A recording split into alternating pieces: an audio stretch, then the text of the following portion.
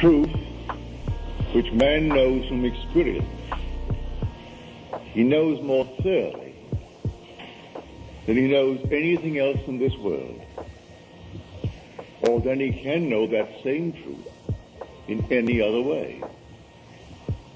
If what I tell you is true, and you believe it, a benediction is pronounced upon you, as we are told in the very end of the book of John.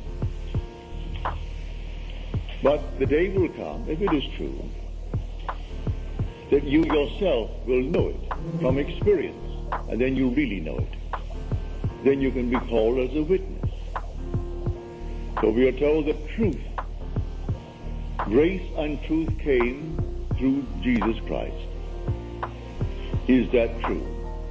And what is this mystery called Jesus Christ? Well, tonight let me share with you what I know from experience.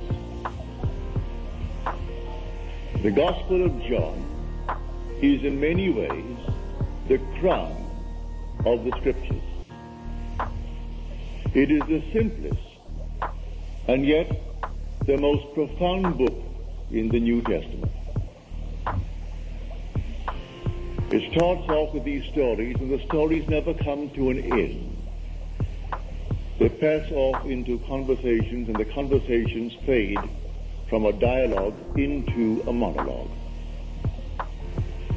You find subtle use of words with double meanings.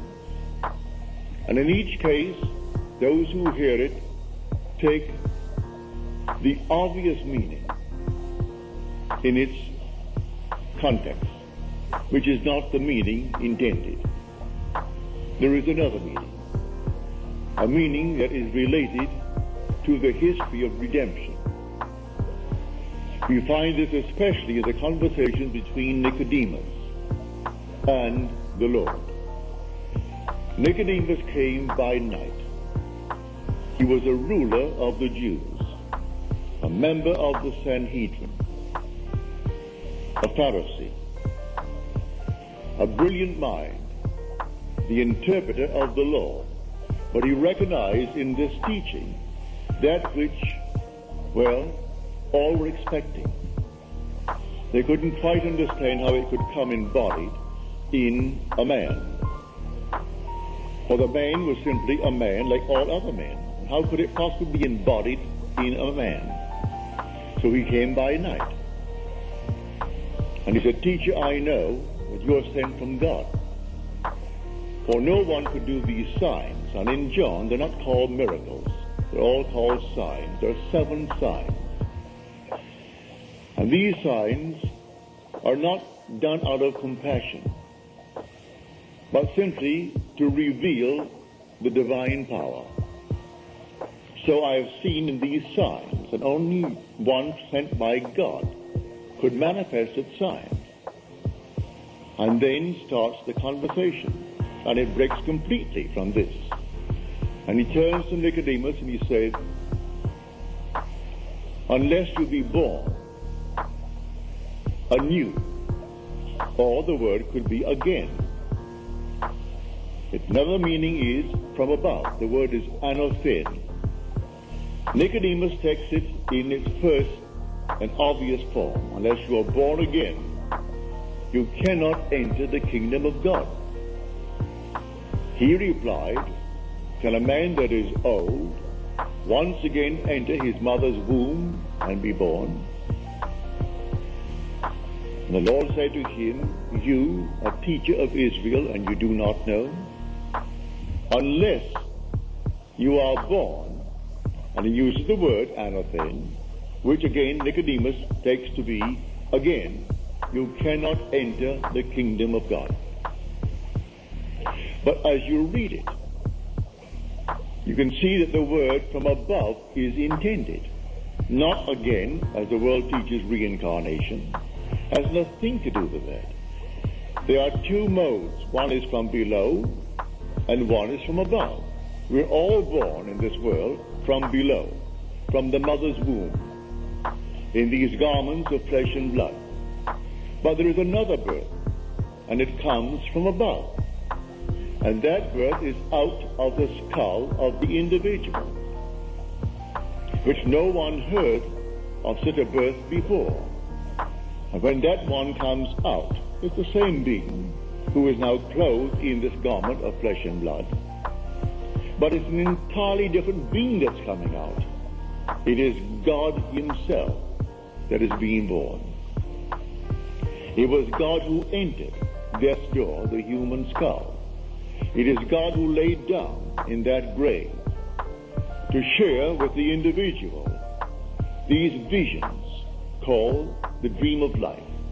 It is that God in the end who was actually bring together the one who is called John, called Stan, called by any name, and so weave it within himself that he will actually be that being, and that being will be God.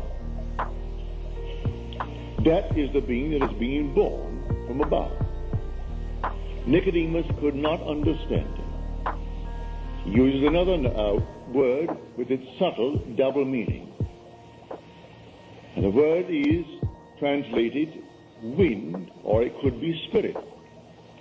He said, as the wind blows where it wills, and you hear the sound of it, but you cannot tell whence it comes or whither it goes. And so it is with everyone who is born of the Spirit. Nicodemus cannot understand that. And yet it is from actual experience a wind, and it is the Spirit. When it happens to you, you hear the wind. It's an unearthly wind, fantastic wind. You think it is a storm, a frightful hurricane, if you've ever gone through one. I've gone through many at sea, and maybe one or two on the earth, on the land. But I've gone through quite a few hurricanes at sea and they are disturbing, but it's not, you can't compare it to this sort of wind. It's a wind that takes place within you, and yet at the same time, it is taking place seemingly coming from without. You hear it, and your whole head is vibrating, and yet you feel that the source of it is in the corner. The wind awakens you. That's when you'll be born when this peculiar wind takes place. He sends his spirit, and the spirit awakens you. And the spirit is the wind. And when you awake, you awake within your own skull, and you know it is a grave, it is a sepulchre. That's where someone, at some moment in time, placed you. And they place only the dead there. Therefore, you must have been dead or they thought you did. And so here, death was turned into sleep. And the dreamer of this sleep is God, who entered death's door with you. Now, he tells us that this is a gift. What gift? The gift of God is Christ. The gift of Christ is the return of memory. For Christ gives the Holy Spirit, and the Holy Spirit will come upon you. And when he comes upon you, he'll bring to your remembrance all that I have said to you. So the gift of God is his Son. Christ is the Son of God. The gift of the Son is to bring to your remembrance. What remembrance? That you are God. That you are the Father. That's the gift of the Son. It takes the Son to remember, to bring to your remembrance who you really are. It takes the gift of the Father to give you His Son. For if He doesn't give you His Son, you will never know that you are God the Father. So the conversation goes on, and these are subtle double meanings between the use of the word. The obvious meaning, well, we always take that first, and that's not what is intended. Now he tells us, the Son of Man, and here every scholar misinterprets it. He said, as Moses lifted up the serpent in the wilderness, so must the Son of Man be lifted up. And they said that's now he is foreshadowing the nature of his death on the cross. There's no statement in the five books of Moses that it was a cross on which the serpent was nailed. He was lifted up, a fiery serpent lifted up on a rod, a single rod. The obvious meaning is, all right, that's how he's going to die, on a cross. I tell you from experience, that's not what it means. It's actually being lifted up, a fiery serpent, and you are that fiery serpent. Lifted up on the cross of your own spine. And lifted up where? Listen to the words.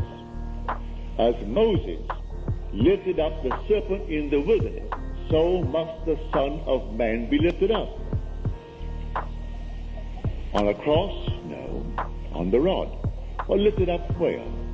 Lifted up into heaven. For no one can ascend into heaven but he who first descends from heaven, the Son of Man. So the Son of Man descended from heaven. And only the Son of Man can ascend into heaven. But who is the Son of Man? The question is asked, who is the Son of Man? Mention all kinds of names. John the Baptist, Elijah, Jeremiah, some other prophet. But who do you say that I am? He equates the Son of Man with I am. And when you are lifted up, who is lifted up? I am. And you go up like some fiery serpent into your own wonderful skull, and it vibrates like thunder. All these truths are so subtly stated that man completely misunderstands it and takes the outer or first meaning, and it isn't the first meaning at all. That's the book of John, written by the most profound teacher that we have in Scripture. If you mention another one, yes, you could mention Paul and the unnamed one who wrote the Epistle to the Hebrews. These are the three giants in the New Testament. They're the ones who experienced it and then told it in their own wonderful way. But John is so poetically told. Every verse is like poetry when you read it. And having had the experience, you stand amazed that someone could tell it so beautifully as the unknown author called John wrote it. That grace and truth came through Jesus Christ. Grace is love in action. And John said, God is love. So it's God in action. And grace is an unmerited, unearned gift. If you had earned it, it would be your wages. It could not then be a gift. It's a gift. An unearned gift. And what is the gift? He gave his only son. He gave me his only son to bring to my remembrance the being who I am. For I'm God. You're God. Everyone is God, but not until the gift comes. Now, in Scripture, we read, He who has seen me has seen the Father. This is all in John. The word to see and to know are the same word in Greek. So he who has seen me knows the Father. If you do not see me, you do not know the Father. But if you encounter me, you cannot help but know the Father. So you have been with me so long, Philip, and you do not know the Father? He who has seen me has seen the Father. If you see me, you instantly know the Father.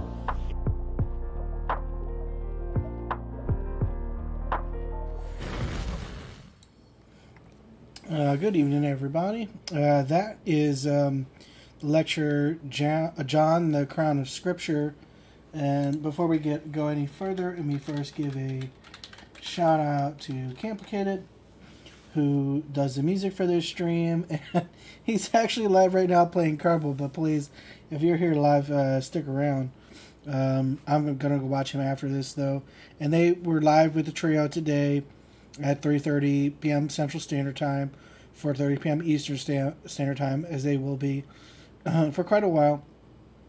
Okay, so that lecture, John, the Crown of Scripture, uh, I'm very glad that Neville uh, mentioned there uh, how he understands the symbolism of John. You know, the what that symbol boils down to, which is love. And John was the brother of James, and James is the judge. And they are brothers to remind us that we are supposed to judge others through the eyes of love.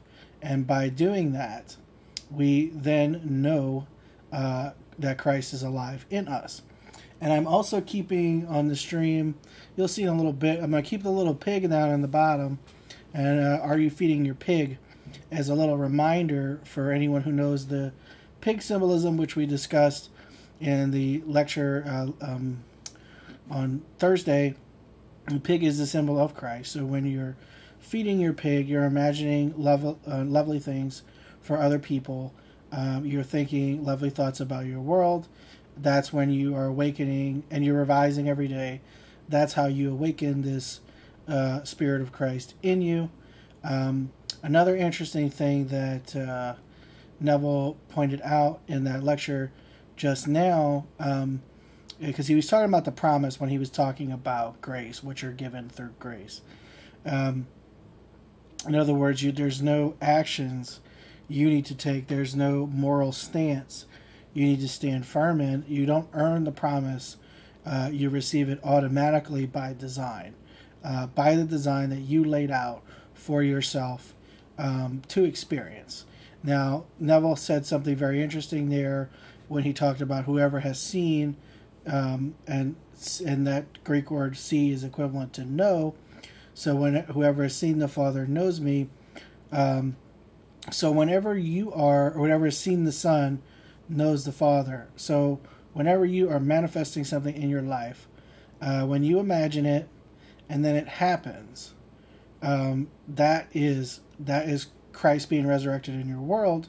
So that is actually seeing and knowing the Father on this level of experience. Now, when Neville talks about the promise, he's talking about a different level of experience um, where you're closer to your original identity and experiencing it um, in a different, much more truly alive form. Here, because everything is dead, um, you're sort of seeing uh, a shadow of it. You're seeing a glimpse of it. However, keep in mind, whenever you manifest something, um, you are witnessing God the Father, who is your true self, in action. Uh, so, and another thing I would like to remind people is that, so I do encourage you to tell people in your life how to manifest. And you can put it in whatever terminology you like. You can omit uh, all of the um, references to biblical figures you can certainly do that. Uh, but keep in mind, no matter how you present it to people, um, they're not always going to be in a state where they're ready to try it uh, or where they're interested or receptive to whatever you're telling them. And certainly, if it's an a religious person, it's probably not useful to start talking about Jesus Christ. And that is okay.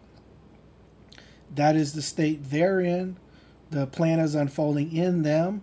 You know that it, it, you may be part of it, you may not be part uh, of their unfolding, um, and it's okay. You don't never try to convince people. I like this. The thing I was thinking today is like when it comes to this stream, I'm mostly interested in finding other people who've already um, been applying the law, who've already read a lot of Neville, and so that we can create a space together to further explore the lectures we haven't read yet or whatever.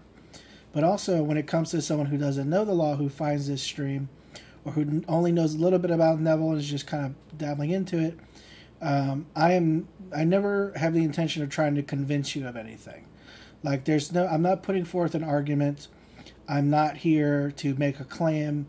I'm here to tell you what Neville said, to give my my personal interpretation of it, because I'm I do I have assumed for majority of my life that I'm really good at analysis, especially when it comes to symbolism.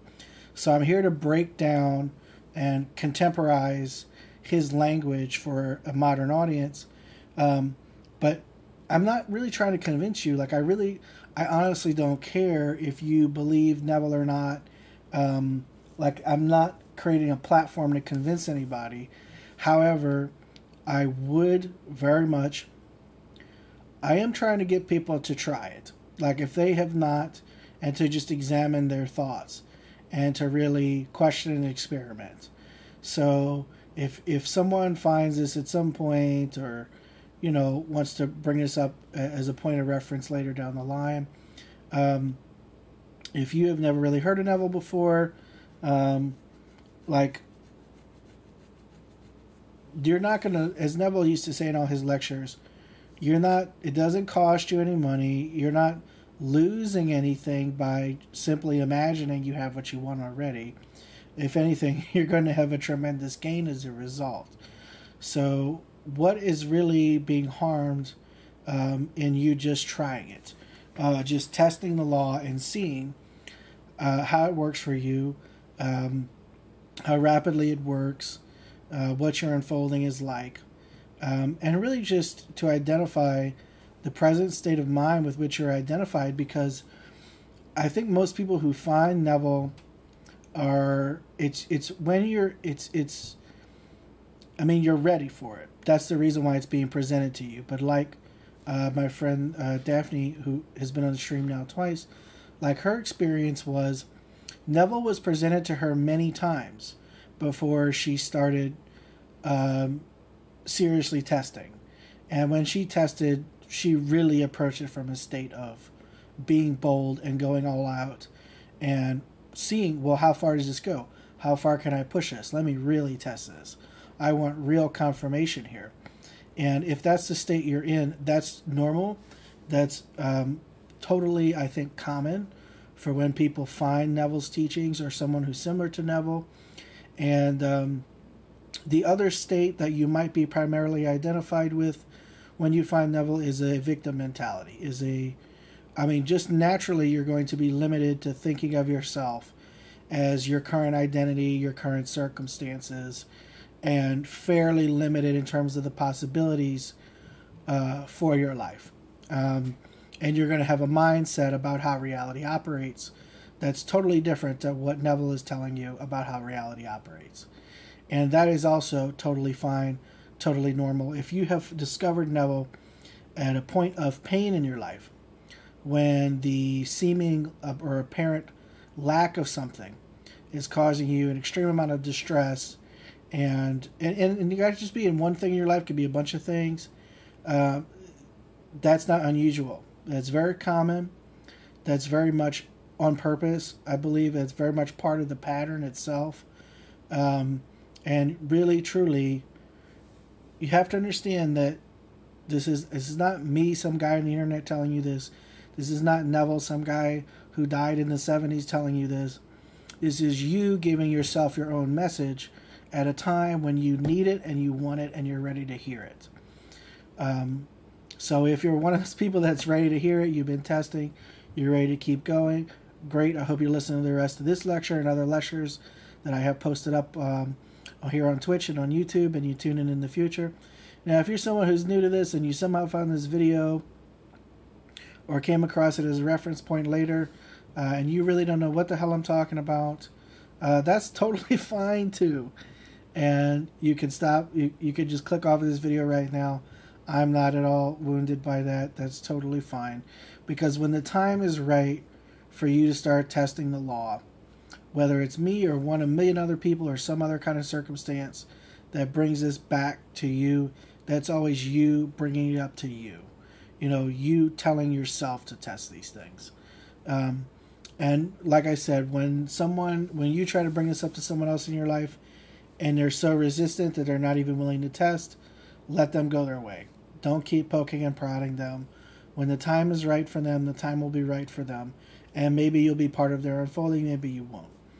However, don't let that fear that the person might, um, you know, might you know not want to try or in some way be a little bit rude towards you as a result of what you're telling them don't let that possibility prevent you from telling other people because i have so far been very surprised um, pleasantly surprised by people that i consciously as far as i know assumed would not be open to this, would think I'm crazy for believing this, but who then went on to test it and had experiences as a result.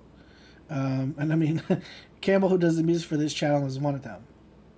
Because I was hesitant to even say what this stream was about, but I was like, you know, if he's doing music for me, you know, that's the point of the stream. Like, it's gonna have, it's I got, I can't keep that a secret.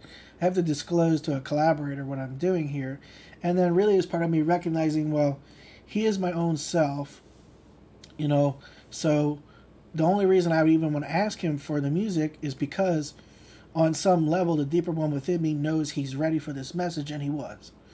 Um, so you can be so pleasantly surprised by the people you tell about the law and the things that they're able to do with it so rapidly. You will, and that is such fun to delight yourself in that specific way.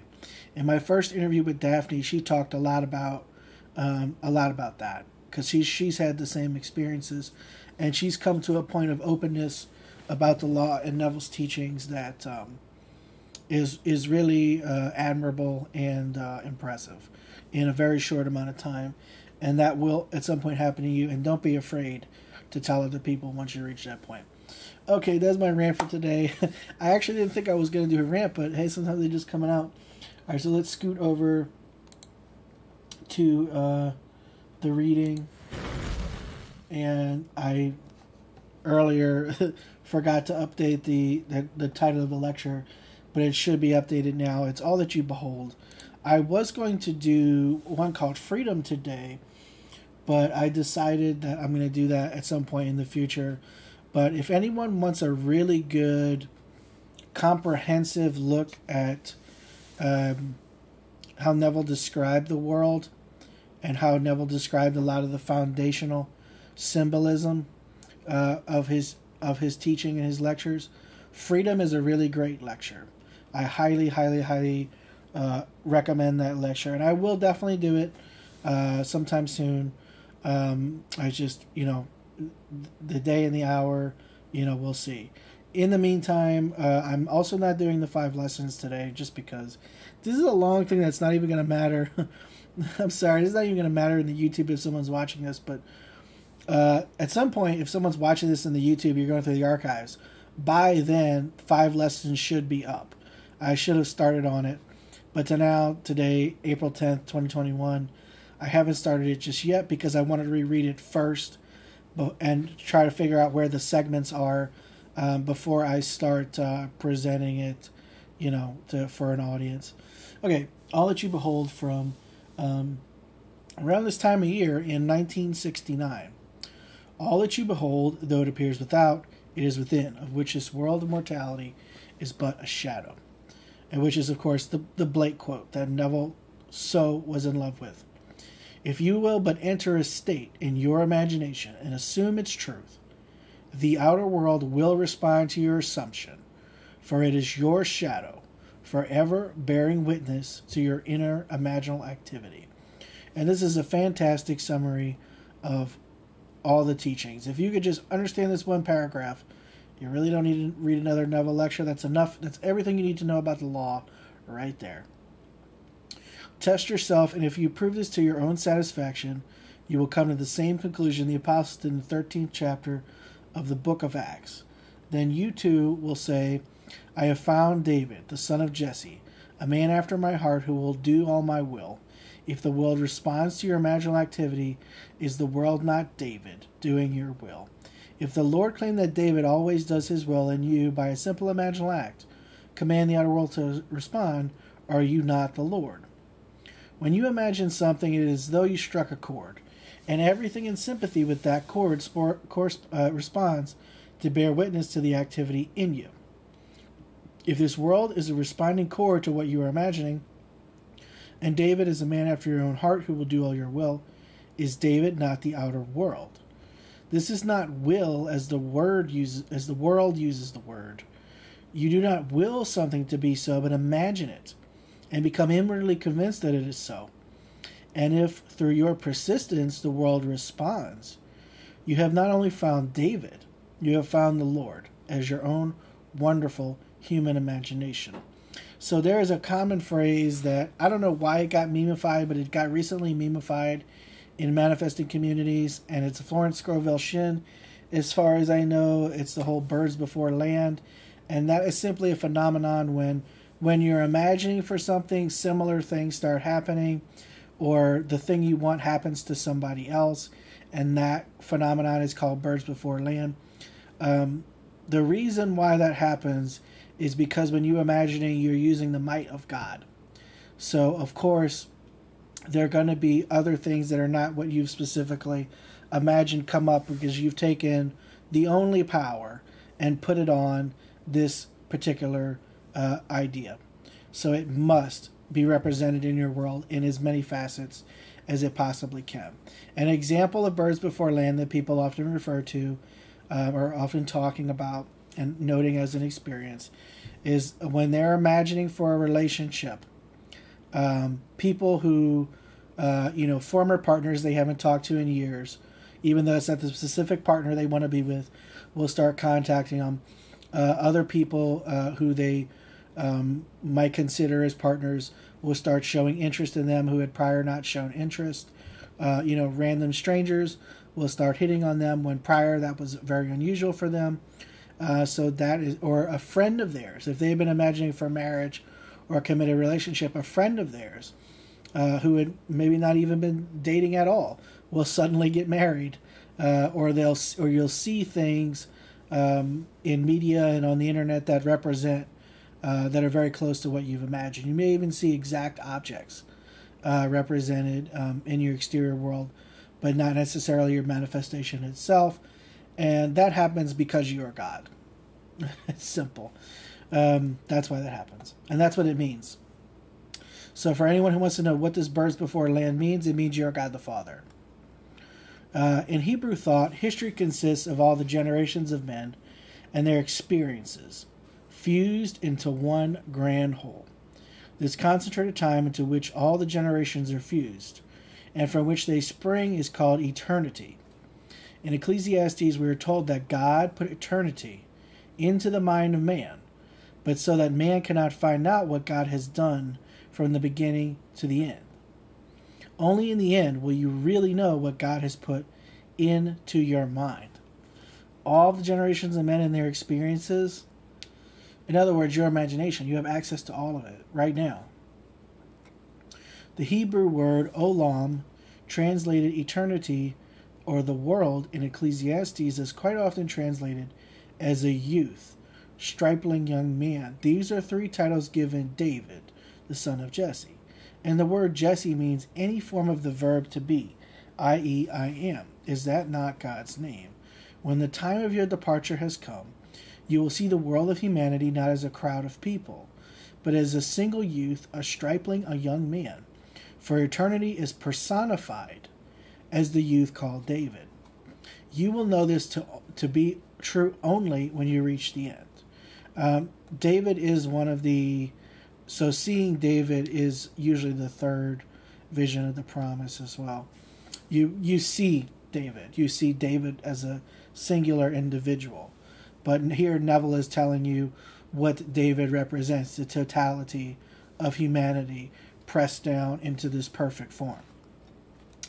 Now listen to these words found in the 20th chapter of John. Peter went to the tomb where he saw the linen clothes lying and the napkin which was on his head on his head lying, now with the linen clothes but rolled up in a place by itself. You may wonder why this is stated thus, but I tell you, the linen clothes and the napkin are very significant. Read the story carefully, and you will discover the tomb where he was crucified and buried was called the skull. And Peter, when entering the tomb, saw the linen clothes and the napkin, but could not see the one who was put there. This is not a secular story of a man who died wearing linen clothes, with a napkin covering his face, and left the tomb three days later, leaving his clothes and napkin behind. No, Scripture is filled with symbolism. The linen clothes symbolize your physical body, the garment you wear here, which covers your true identity. This is not a story of one who has died, but of one who has risen from the dead. In ancient times, the word napkin had a far wider range of meaning than it has today. We have a dinner napkin, a, co- cocktail napkin, and also a sanitary napkin, but this napkin symbolizes the placenta, the afterbirth. The napkin appears separate from the body to tell you that a birth took place. This is the birth John insists is necessary for entrance into the kingdom of heaven. Matthew and Luke tell the story. The kingdom of heaven is also is not a place; it's a it's a state of consciousness that is always within you, that is buried uh, within you. Uh, Matthew and Luke tell the story of the birth as a woman called Mary giving birth to a little child who was different, yet born as we were born. But when you read the story in John, the most profound of all the New Testament writers, you discover where the birth takes place and who Mary really is. Mary is the skull, the womb God entered. Blake said God himself entered death's door with those who entered, and he laid down in the grave with uh, he laid down in the grave with them, in visions of eternity, until they awake, and see Jesus and the linen clothes lying there, which the female had woven for them. My mother wove this fleshly garment that I wear, and when I came forth, it was from her womb. Then the placenta followed. It had to be discharged, for it has no part of the earth. So it is with the napkin, telling you here that an unusual birth has taken place in the skull, where the drama begins, began and ends. No doubt unnumbered millions attended last Sunday services and heard that he has risen. Yes, he has risen, and so will you, for God actually became as you are, that you may rise to know yourself to be as he is. Having entered your skull, he now has visions of eternity. Visions of wars, famines, and convulsions were first imagined, or they could not happen. When you imagine a state and find its response coming from without, you have discovered who God is, for all things are made by him. This is so cool that my kickoff rant is so nicely and uh, summarized here in this one little sentence. When you imagine a state and find its response coming from without, you have discovered who God is, for all things are made by him. As he wills, as he wills it so, so it is. But he must have one who will do all of his will. If it takes 500 beings, male and female, to respond to your imaginal act, they will come and seem to you to be the influence through which your desire is made visible. You see, humanity is David, always doing your will. And when your time is fulfilled, the whole of humanity is fused into a single youth and personified as David. Strangely enough, he comes from within you and reveals you as his father. Then, speaking from experience, you will say, I have found David. He has cried unto me, Thou art my father. And you will know your journey is at its end. It takes all the generations of men and their experiences to bring you to the point of confronting the beauty of these experiences, fused into a single youth known as David. Every child born of woman will eventually know that he is the God who created the universe and willed everything into being. Then he will forgive all, for he will know they were only doing his will. Then everyone summed up will appear to him as David, and he will say, I have found my son David to be a man after my heart who does all my will. Now we come to these words I, Jesus, and the root and the offspring of David. All right, here he might get into he might get into this whole David Jesus um, mystery that um, while it was something that because Neville having had the experience he had was something that he wanted to talk about. I think it's one of these things where you have to experience it as a vision because in language it doesn't necessarily have the same uh, resonance, re- resonance and poignance that it does as a vision or as a series of visions. Um, yes, the day will come when you know you created, entered, and animated humanity so that they could respond to your imaginal acts. And when you have played all the generations of men and had all of their experiences, you will come out of humanity knowing you are its offspring and its root, therefore its father. Yet you come forth from the Father as you promised yourself you would.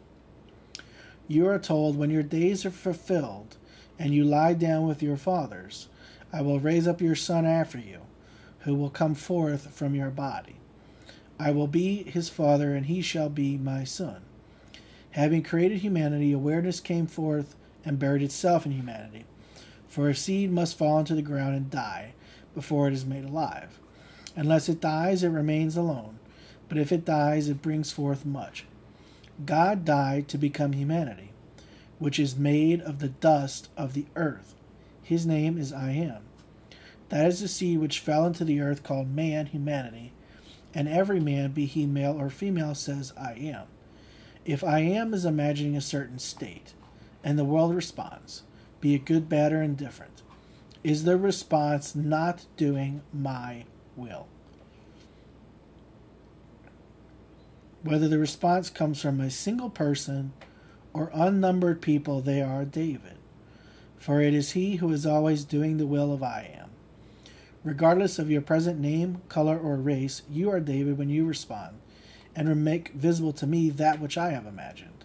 And when you find the cause of the response, you find it in yourself. Test yourself, and you will discover that your imaginal act was the cause of the response of the world relative to you. Then you will have found the Father and the Son, and your journey will be at its end. For you will have set yourself free from secondary causes in this world of death. Then your journey will fuse itself into a single youth called David. You will recognize him as he is, just as described in the book of Samuel.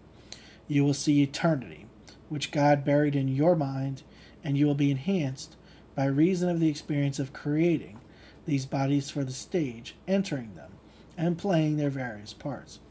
Your presence here tells you, tells me you have played them all, because no one comes unto me save my Father calls them, and I and my Father are one.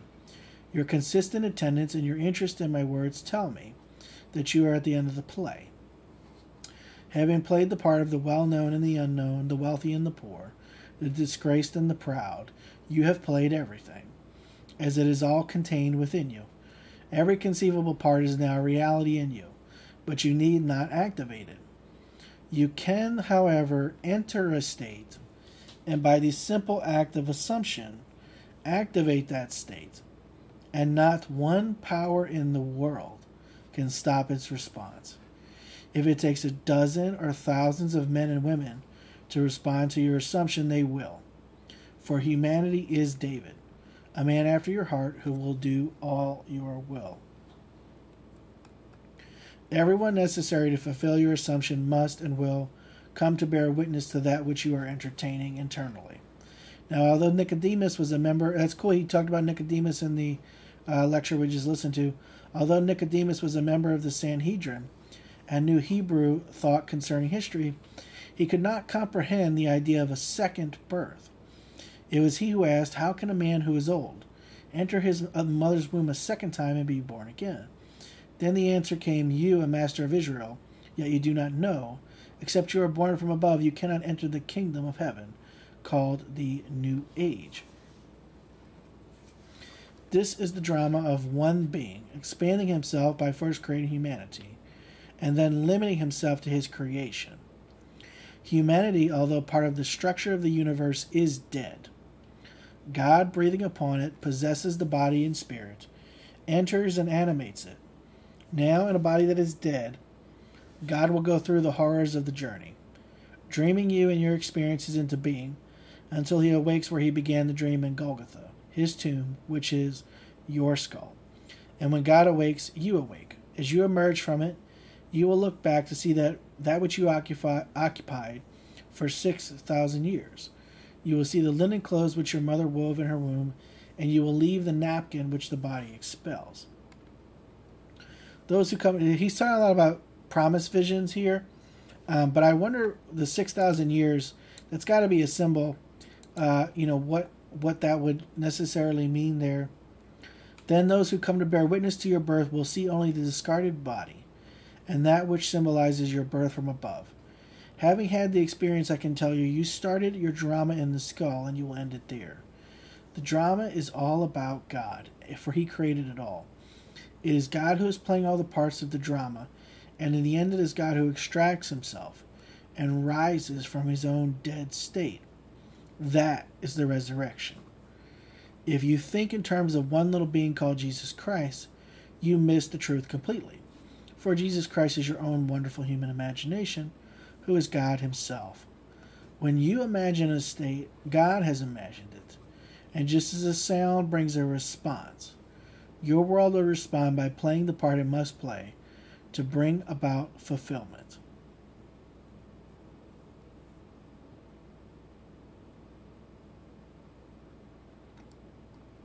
All you're required to do is remain faithful to the state you entered. Now, Paul makes this statement Remember Jesus Christ, descended from David according to my gospel. Having experienced Scripture, Paul calls it my gospel.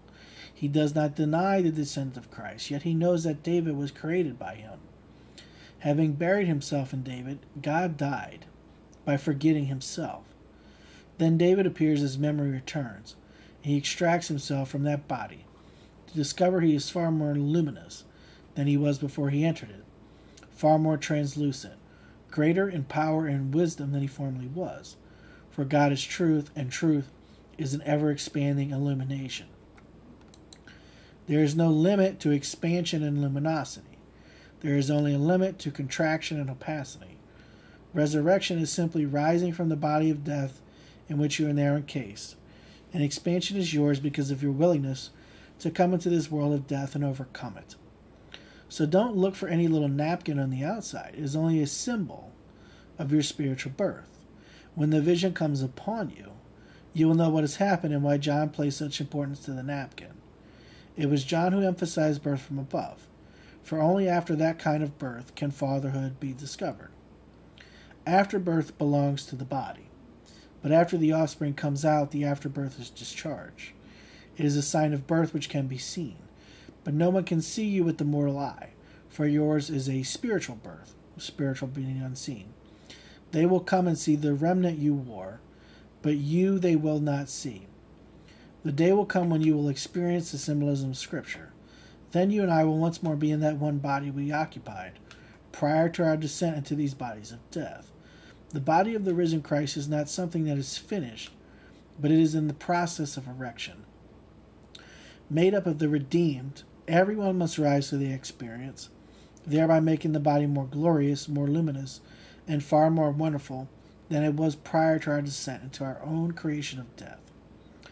You did nothing wrong which caused you to enter a body of death called man.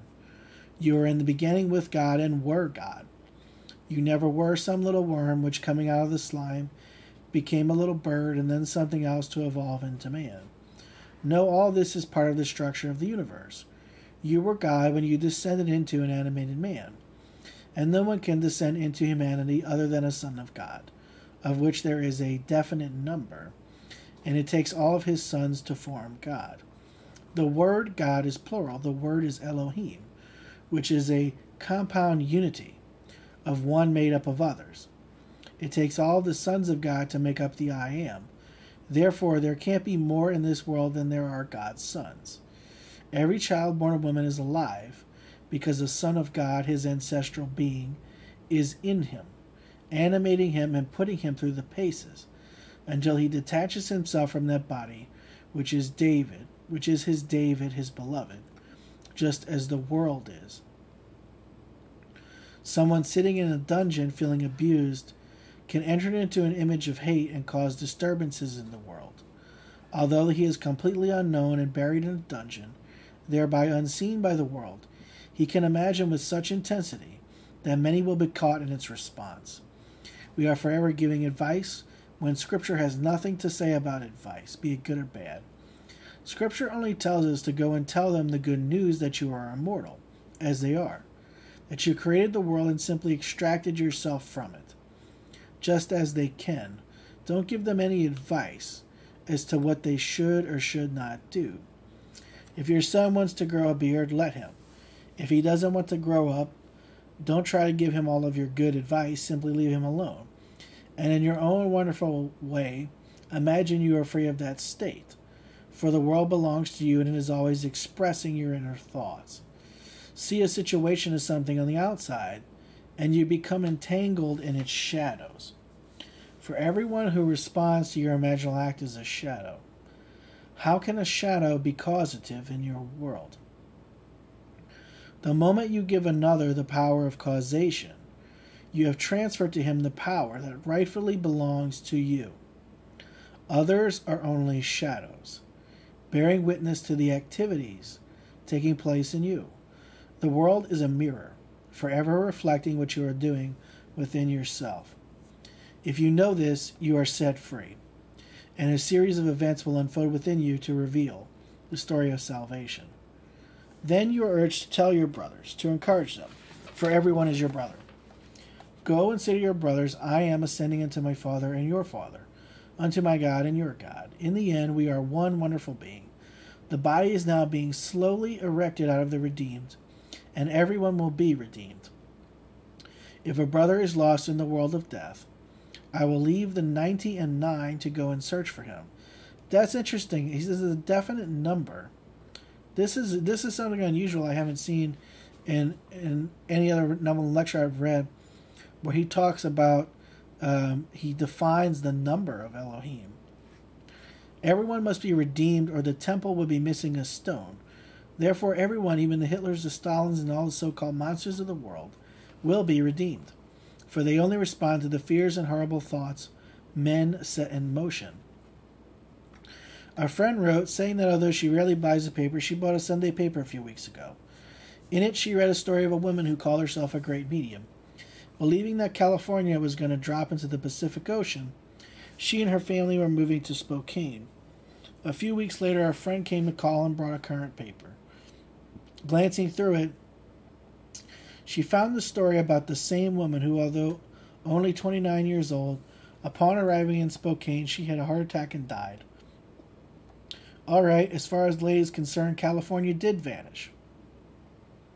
She is now in a world just like this, in a section of time best suited for the work yet to be done in her, to bring her to the knowledge of who she really is.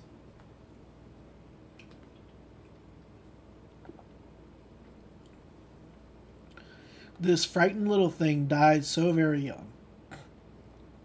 Yet while she was here, she frightened so many in this state. Friends of my nephew moved to Arizona, not realizing that they were taking their beliefs and fears with them. You can go from here to the ends of the earth. You can make your bed in heaven or in hell, but you will still be aware because God is there, for you can't get away from being God. You may not know that you are, but if you are afraid here, you will be afraid there. Like Job, this lady's fears came upon her. Being afraid, she created her own disaster. But at the end of Job, we are told that it was God who wrought it. For only at the end of the journey do we realize who God really is. Having heard of him with the hearing of the ear, when our eyes behold the truth from experience, we understand. Afraid, I prayed to an external God, and all my fears came upon me. Then, seeing the symbol that reveals my fatherhood, I said, I have heard of thee with the hearing of the ear, but now my eye beholds thee. When God extracts himself from this fabulous experience, everything that he was is doubled. That is the story of Job. He did nothing that was wrong. Job simply imagined the wrong things. He blamed the devil, but the devil doesn't exist outside of man. Satan is the doubter. It is he who doubts the reality of your imaginal acts. If you can't believe in the reality of your unseen imaginal act, you may turn to another and believe in him but you are always imagining. For imagination is God, and imagination imagining is the power of the world. In the beginning you heard, but as your eyes see the result of your inner hearing, you believe. And in the end, everything taken from you will return one hundredfold. Yesterday the world celebrated the resurrection. Yet resurrection and birth from above are two sides of the same coin, and take place the same night. The priesthoods of the world mark the time as the first Sunday after the full moon in Aries, but it does not have to be then. Resurrection can take place at any moment in time. It has taken place and is still taking place, for the temple is being rebuilt on a more glorious scale. For we are the living stones, forming the New Jerusalem. Believe me when I tell you that your own wonderful human imagination is Jesus Christ. Imagination entered death's door, your skull, and is dreaming the world in which you live. It is imagination who will emerge, and when he does, you are Jesus Christ. There was never another Christ, and there is only one. When I awake, I am He. When you awake, you are He.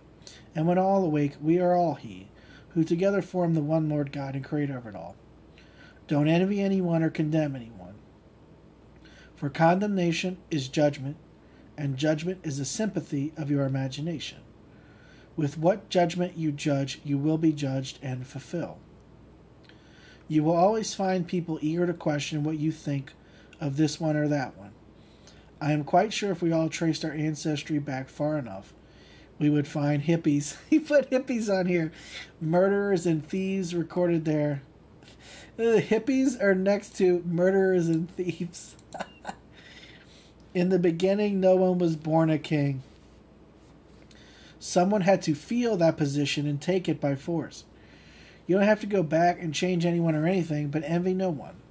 If someone wants a thousand or a hundred thousand acres, let him have them.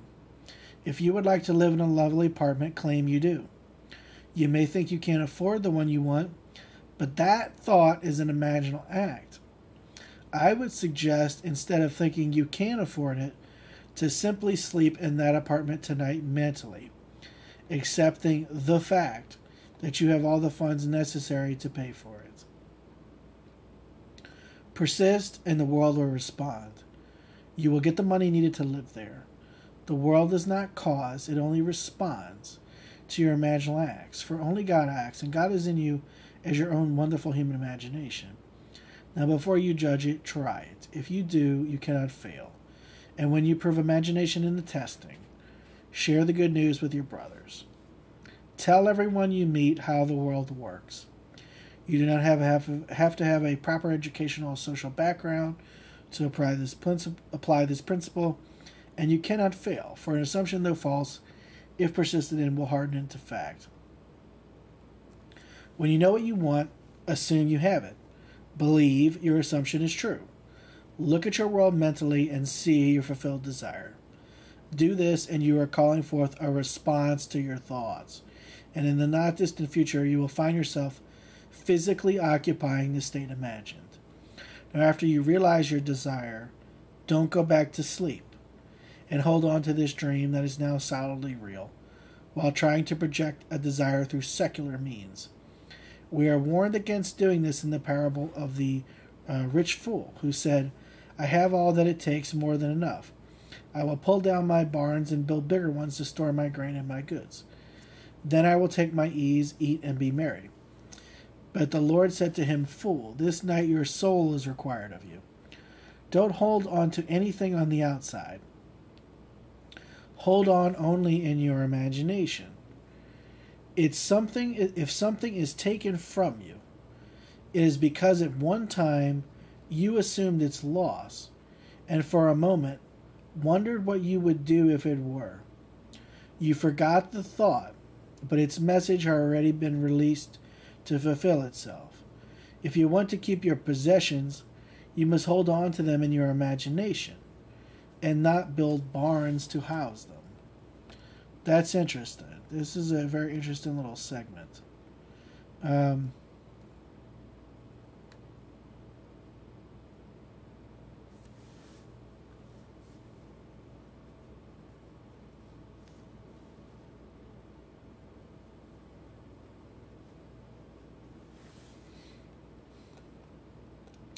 I was trying to think of a good uh, equivalent, a good practical equivalent uh, to this Fool and barns um, example here.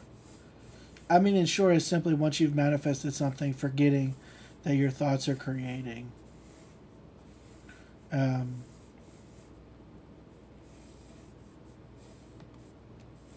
like if Neville's brother, after having manifested um, getting the building for the business, had stopped imagining they wouldn't have been successful. They wouldn't have become Goddard Enterprises.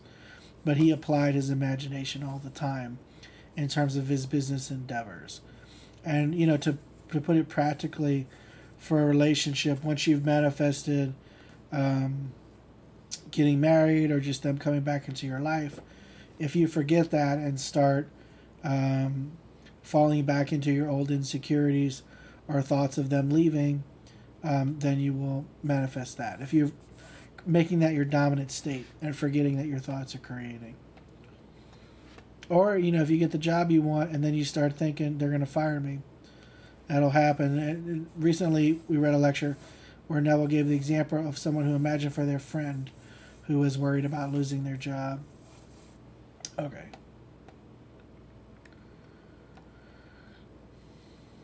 Don't forget. Remember the story of the birth is told in John. He does not describe it as Matthew or Luke do, but tells you the birth is essential in order to enter the new age. Then at the very end, he gives you this beautiful symbolism of birth, which comes through death. For it is only through death that one lives. A seed must fall into the ground and die before it is made alive. So God dies, saying, Unless I die, thou canst not live. But if I die, I shall arise again, and thou with me. And God arose.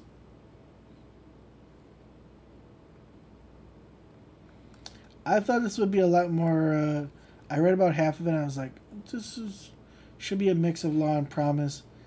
Uh, there is a lot of law in here, but it's, it is a lot of it is about the promise, but that's okay. Um, let me switch over to. There's a section I want to reread in a second. I'll reread it right now, um, because it's another great, uh, really succinct um, advisement uh, definition of the law. When you know what you want, assume you have it. Believe your assumption is true. Look at your world mentally and see your fulfilled desire. Do this, and you are calling forth a response to your thoughts. In the not distant future, you will find yourself physically occupying the state imagined.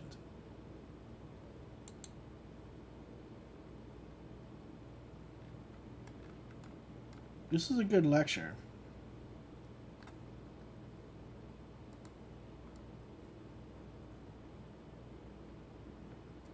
I find this one difficult. Because I still do this. Like, even though I know people are just the states they're in. I mean, in my personal life, there's not any extreme wickedness, but when you look out on the world at large, upon people who do really awful and brutal things, you know, like, you know, actual murderers, it's hard not to condemn that person and see them as a murderer. Right? Like that's a limit.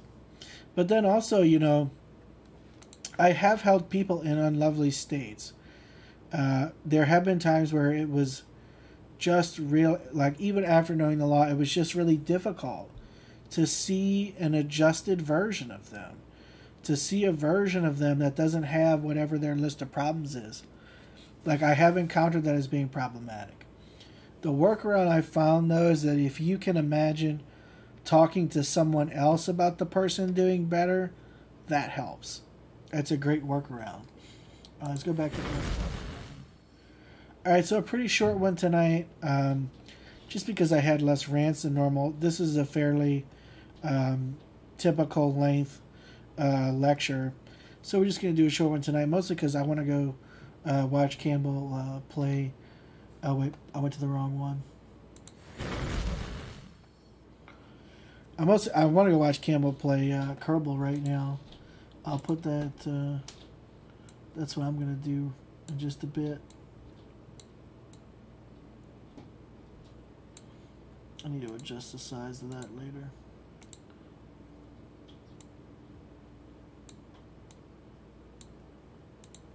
All right, well, that's all for tonight, I think, because I don't have an additional rant.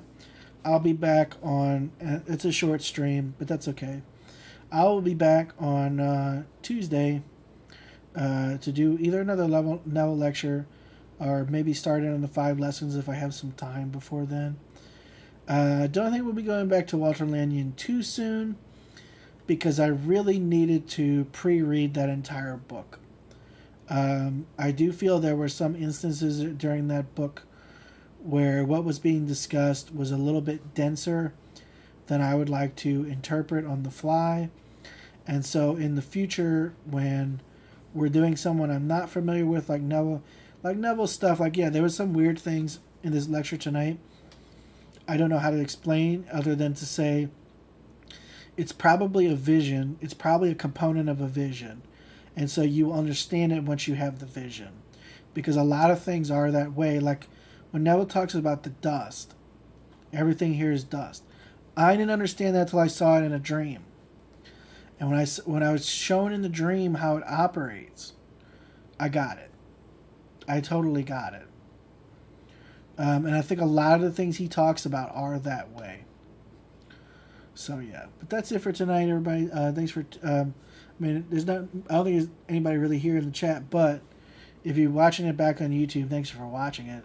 And I'm surely still doing these on twitch.tv slash imagination is God. So come see whatever my current schedule is. I may be sticking to it, I may not. but yeah, uh, thanks for tuning in. And I'm going to play a little bit more of uh, John the Crown of Scripture, um, but probably not too much. All right, so have a great night. and I'll see you again on Tuesday.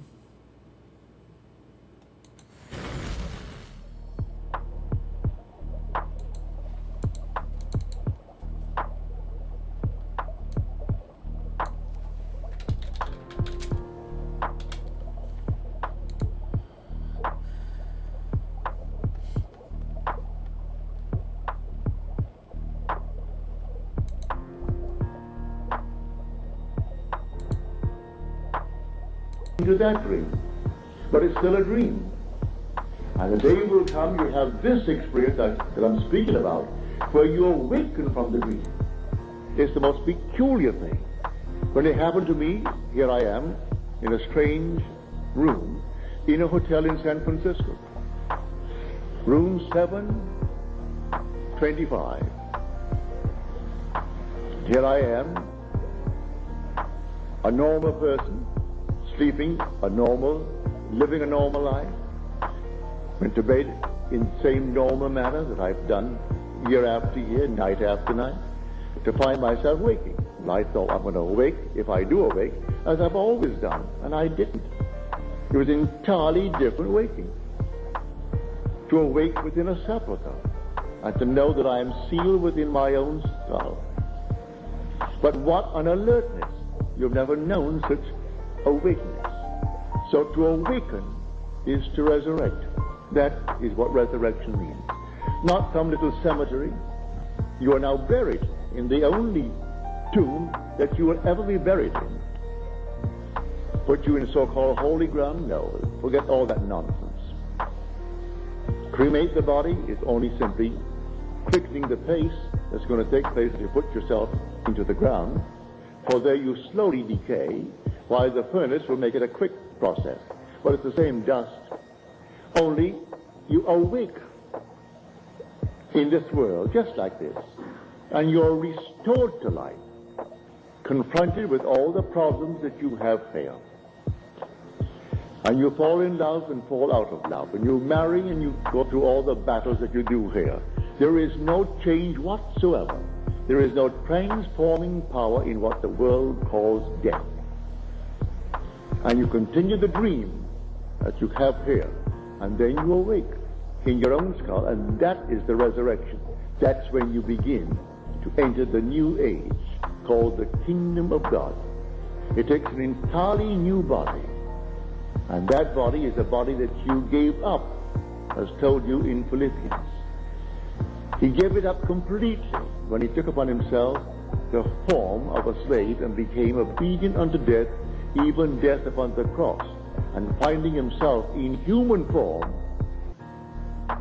he surrendered completely to the form in which he found himself. But he gave up all that was his. And what was his? He was God. You were God. And you still are God. But now you are fulfilling what you pledged yourself to do, to complete the dream and not to awaken before the end. So no one's going to awaken you before the end because you are in control. And no power in the world can awaken you before the end. Because then your purpose would be void. And you are going to fulfill your purpose. Go right straight through to the very end. And then return to the being from whom you came. And who is that being? Yourself. You are the sender and the sent. So he who sees me sees him who sent me. In the office of the sent, I am restricted. In the office of the sender, I am the Father. Unlimited power, unlimited wisdom. So, he who sees me, says he, sees the Father. And because the same meaning of seeing and knowing is the same word, if you see me, really see me, then you know the Father. That's what he's telling you.